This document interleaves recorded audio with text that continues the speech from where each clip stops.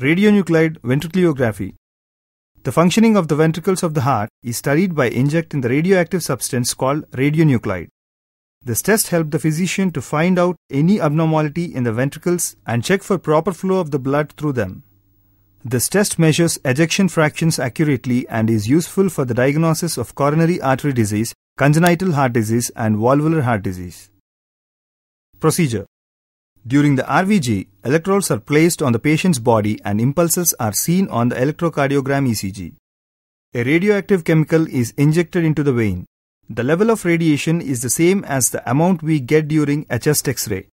Radioactive chemicals attach to red blood cells and pass through the heart.